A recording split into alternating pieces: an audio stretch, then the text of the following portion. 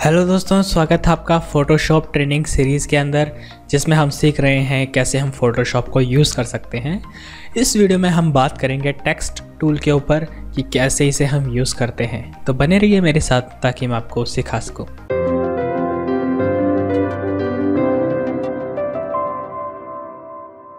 Hello and welcome to media dot com और दोस्तों, स्वागत है आपका इस फोटोशॉप ट्रेनिंग सीरीज़ में।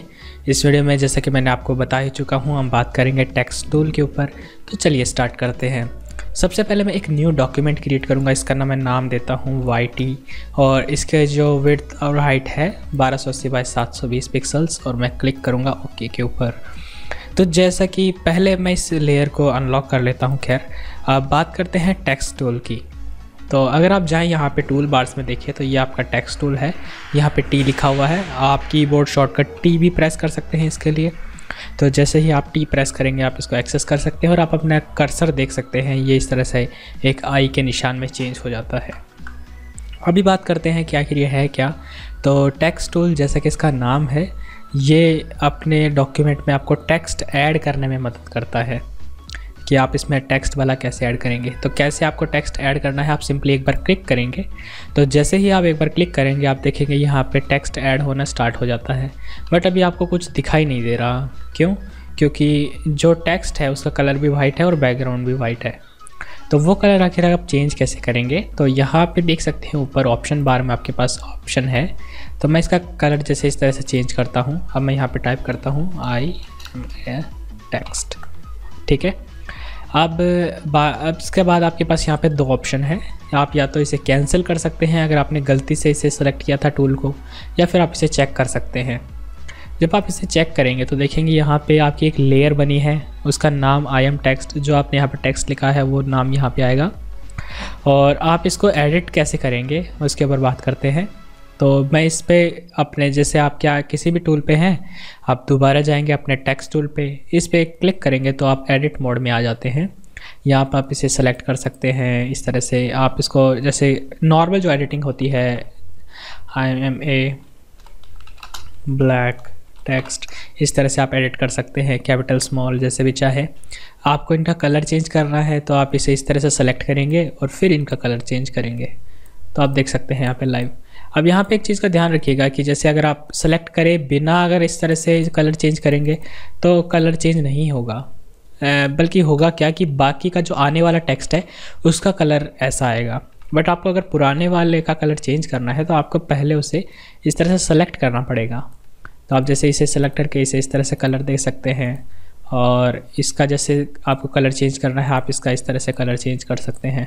आपको सभी का कलर चेंज करना है, आप कंट्रोल ए दबा के पूरे को सिलेक्ट कर सकते हैं। अब देखिए क्वेश्चन मार्क आ रहा है क्यों? क्योंकि डिफरेंट डिफरेंट कलर है। फिर आप इस पर क्लिक करेंगे और इन सबको कोई भी एक कलर दे सकते हैं। जैसे मैंने इस तरह का एक कलर देता हूँ। ठीक है? और ओके प्रेस करेंगे। इसी तरह से अगर आपको इस टेक्स्ट को मूव कराना है तो आप मूव टूल पे जाके इसे इस तरह से मूव करा सकते हैं। और आप देखेंगे कि जब आप अपने टेक्स्ट को मूव कराते हैं तो ये इधर उधर स्नैप करता है, क्योंकि वो एक्चुअल में फ़ोटोशॉप की सेटिंग्स होती है, ये स्नैप आपका ऑप्शन ऑन होता है तो ये बीच में जाने पर सेंटर में आने पर ये आपको पिंक ये पर्पल लाइन्स जो है आपको दिखाई देती है। अभी बात करते हैं इसको एडिट करने की और कुछ और एक्स्ट्रा ऑप्शंस के बारे में। तो जैसे अगर आप इस लेयर पे जैसे जो टी लिखा हुआ है, इस पर डबल क्लिक करें तो आप डायरेक्ट इसके एडिटिंग मोड में आते हैं प्लस ये पूरा टेक्स्ट जो है आपका सेलेक्ट कर लेता है। तो आप यहाँ से इसे एडिट कर सकते हैं। जैसे मैं यहाँ पे जाऊँ डबल क्लिक करूँ तो ये मेरा पूरा टेक्स्ट सेलेक्ट कर लेगा। और फिर मैं यहाँ पे लिख सकता हूँ,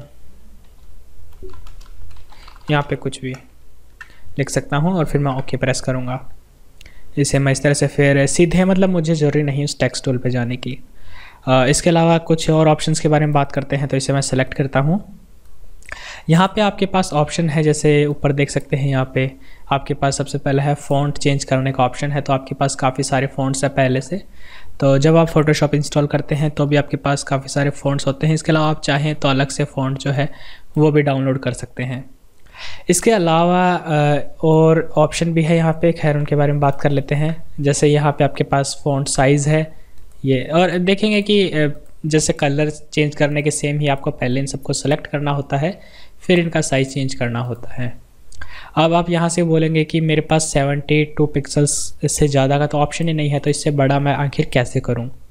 तो आप क्या है, अगर इस टी पे अपना माउस लेके जाएँगे तो देखेंगे एक एरो आता है इधर उधर साइन का। आप उससे इधर उधर स्क्रब करके इसका साइज़ और ज़्यादा बढ़ा सकते हैं। तो ये काफ़ी अच्छा तरीका है, अगर आपको ज़्यादा टेक्स्ट बढ़ाना हो तो। आप चेक करेंगे और फिर इसे मूव टूल के हेल्प से इधर मूव करा सकते हैं। इसके अलावा और एडिशनल टेक्स्ट से रिलेटेड ऑप्शन के लिए आप जा सकते हैं विंडोज़ और क्लिक करेंगे आप यहाँ पे कैरेक्टर्स के ऊपर। तो कैरेक्टर पे क्लिक करेंगे तो आपके यहाँ पे एक विंडो आ जाएगी। ये साइड में एक पैनल आ जाता है। इस ये कैरेक्टर पैनल है। इस पर क्लिक करेंगे तो आपके पास यहाँ पे ऑप्शन होते हैं टेक्स्ट रिलेटेड तो आप यहाँ से इसकी साइज़ वगैरह सब कुछ चेंज कर सकते हैं। और सिर्फ़ आपको वो लेयर सेलेक्ट करी होनी चाहिए। जैसे अगर आप किसी और लेयर पे हैं तो आप इसे चेंज करेंगे तो फ़र्क नहीं पड़ेगा। आपको वो लेयर सेलेक्ट करनी है और फिर आप इसका साइज़ वगैरह सबको चेंज कर सकते हैं। आप इसका पूरे का कलर जैसे चेंज करना चाहें, वो आप यहाँ से कर सकते हैं। आप यहाँ से इसका फ़ॉन्ट अगर चेंज करना चाहें तो वो भी आप कर सकते हैं, कुछ इस तरह से। और यहाँ पे कुछ और ऑप्शन है, उसके बारे में हम बात कर लेते हैं। जैसे कि ये लाइन हाइट और विथ हाइट वगैरह के बारे में। तो इसके लिए मुझे सबसे पहले कुछ एक्स्ट्रा लाइन लिखनी होंगी।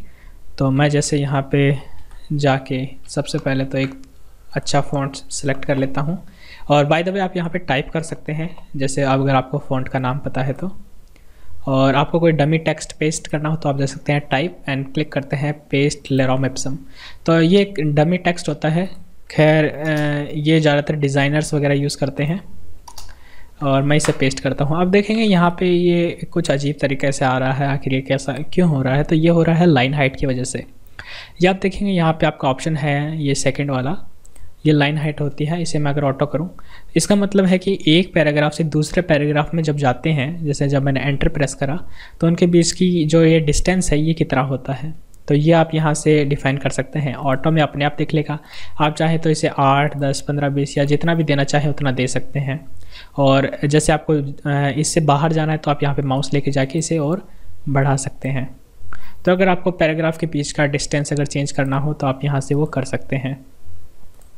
इसके अलावा दूसरा आपका मेन ऑप्शन है ये टेक्स्ट इनके बीच की जगह का, जैसे एल ओ के बीच में जो स्पेस है, वो आप यहाँ से बढ़ा या घटा सकते हैं। जैसे अगर मैं इस तरह से बढ़ाना चाहूँ तो आप अगर ज़्यादा इस तरह से डिस्टेंस वाले क्रिएट करना चाहे तो आप यहाँ से कर सकते हैं। बाय डिफ़ॉल्ट की ज़ीरो होता है आपका। इसके अलावा जो दूसरी चीज़ आपके काम आएगी, वो है ये टेक्स्ट की हाइट और टेक्स्ट की वर्थ यानी ये अकेले एल की जो हाइट एंड वर्थ अगर आपको चेंज करनी हो, जैसे इस तरह से, यह हर एक टेक्स्ट जो है आपका ज़्यादा पहले से लंबा हो चुका है और 100 परसेंट डिफ़ॉल्ट होती है ये। इसी तरह से हर एक टेक्स्ट की जो वर्थ है, जैसे मैं 150 कर दूँ तो ये हर एक टेक्स्ट जो है, जो ज़्यादा चौड़ा हो जाता है। तो ये कुछ कस्टमाइजेशन है जो आप कर सकते हैं। और इसके अलावा ये मैं आपको इम्पोर्टेंट वाले बता रहा हूँ। इसके अलावा आपकी हर एक फ़ॉन्ट फैमिली में कुछ एक फ़ॉन्ट सेट होते हैं, जैसे इस, मेरे पास ये फ़ॉन्ट है शॉर्ट सेंस प्रो इसमें काफ़ी सारे ऑप्शन हैं, जैसे एक्स्ट्रा लाइट है मेरे पास में या फिर बोल्ड तो डिफरेंट टाइप के जो स्टाइल्स हैं वो इसके साथ होती हैं। इसके बाद आपके पास कुछ ऑप्शन है, जैसे बोल्ड का एक्स्ट्रा बोल्ड कर देता है ये। इसके अलावा आपके पास है इटैलिक का ऑप्शन तो ये खैर एडिटिंग मतलब टेक्स्ट आपने सीखे होंगे वर्ड वगैरह में। इसके अलावा आपके पास ऑल कैप्स का ऑप्शन भी है। सारे जो लेटर है कैपिटल हो जाएँगे। फिर आपके पास में ये ऑप्शन है, इसे स्मॉल कैप्स बोलते हैं। इस पर आप क्लिक करेंगे तो पहला वाला लेटर जो बड़ा होता है, फिर थोड़ा छोटे छोटे होते जाते हैं। तो जो आपने कैपिटल में लिखे थे, वो बड़े कैपिटल है, फिर छोटे छोटे हैं। तो आप देख सकते हैं। फिर आपके सुपर स्क्रिप्ट और सबस्क्रिप्ट तो इसको समझाऊं तो जैसे मैं जाता हूँ टेक्स्ट मोड में सबको सेलेक्ट करूँगा कंट्रोल ए और यहाँ पे एक जैसे फॉर्मूला लिखता हूँ मैं। Sine square x plus cos square x equals to one ठीक है? अब यहाँ पे स्क्वायर को आपको ऊपर लेना है तो इसके लिए हम इस बटन पर क्लिक करेंगे। ये आपका सुपर स्क्रिप्ट में चला जाता है। इसी तरह से इस पर मैं क्लिक करूँगा तो ये इस तरह से इसमें चला जाता है और एंटर प्रेस करूँगा।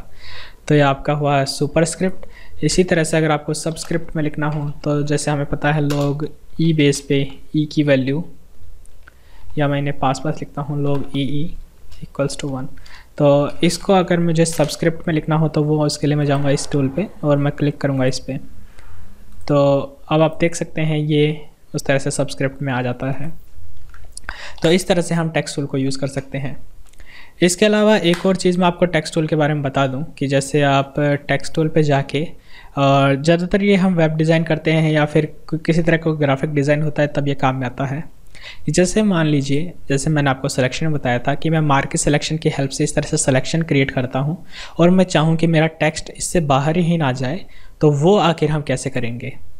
तो उसके लिए टेक्स्ट टूल में आपके पास ऑप्शन होता है। आप इस तरह से ड्रॉ कर सकते हैं मार्केट सिलेक्शन टूल की तरह। होगा क्या कि अब जैसे आप कुछ भी इसमें टाइप करेंगे, ठीक है? चाहे मैं कुछ भी टाइप करता जाऊँ तो जैसे ही इसके एंड में जाऊँगा, ये अपने आप नीचे आ जाता है। और आपका जो टेक्स्ट है इस डिफाइंड एरिया से बाहर नहीं जाएगा। अब इसका दूसरा फ़ायदा मेन ये है कि जैसे अगर आपने बीच में एंटर की नहीं दबाई तो आप इसे अगर बढ़ाएँगे तो ये ऑटोमेटिक वो वर्ड ले लेगा। तो ये काफ़ी इसका फ़ायदा है, अगर आपको वो टेक्स्ट एरिया बढ़ाना हो। तो मान लीजिए जैसे आप कोई बुक डिज़ाइन कर रहे हैं तो जैसे उसका कवर या कोई कोट वगैरह है तो आप ऐसे एरिया दे सकते हैं उसको, और आपको टेंशन नहीं लेनी होती कि कब आपको एंटर प्रेस करना है। तो ये साइज़ वगैरह अपने आप देख लेता है। तो ये एक मेन फीचर है।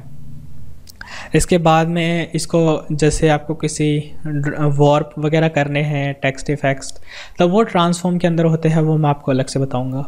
ये एक बेसिक वीडियो था कि कैसे हम टेक्स्ट को यूज़ करते हैं। तो सिंपली आपको टेक्स्ट टूल से जाके प्रेस करना है और आप यहाँ पे कोई भी टेक्स्ट जो है वो टाइप कर सकते हैं।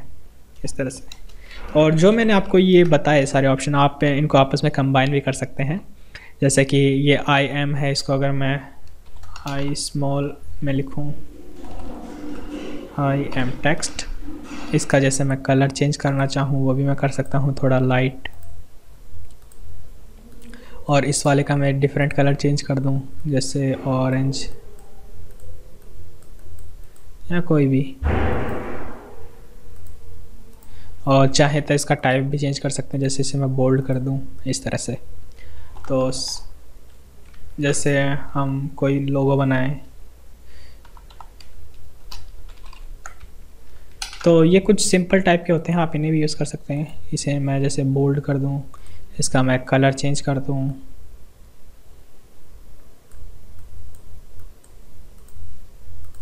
और ये शुरू वाले माई को भी थोड़ा या तो इसे हम लाइट करते हैं, देखते हैं जो बेस्ट लगे हैं बट नहीं।